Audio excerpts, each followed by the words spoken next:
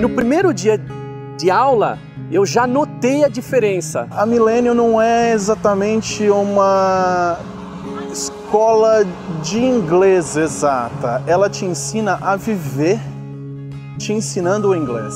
Você se sente mais à vontade para falar é, e é mais natural. São abordados temas muito importantes como sociedade, é, filosofia. Olha, yes. professores nativos que você pega mais, né? Você o listening começa a ficar mais afiado e você começa a conseguir se corrigir. As outras escolas, ah, mecânico.